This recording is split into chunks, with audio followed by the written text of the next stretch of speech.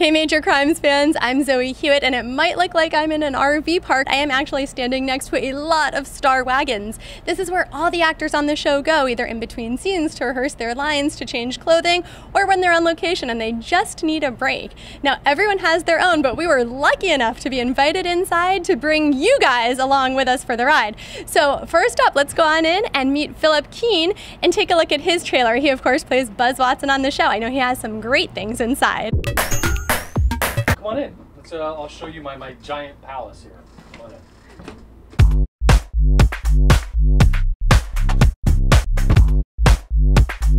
Phillip, what a fun trailer for your home away from home. I spend a lot of time in here, so I try to make it as comfortable as possible. Brought my coffee machine in here, and I've got loads of coffee supplies and a chalk line. It's like a tiny person died in here, so I mean it is a little hot today. So, but this is a trivet that Jessica Meraz, one of our new cast members who plays Camila Paz, uh, gave to me just as a little thank you gift for welcoming her into the cast. And as you can see, you can see, you can see, it says crime scene trivet. So it's a chalk line of a dead guy.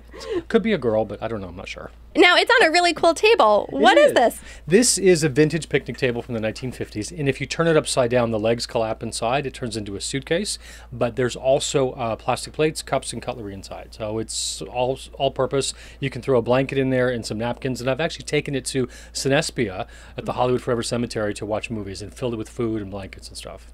Well, you always have interesting things laying Yeah, around. Laying stuff, around, Exactly, right? yeah. so there's that one, and there's this other picnic basket that Kearran just borrowed, who plays Detective Amy Sykes.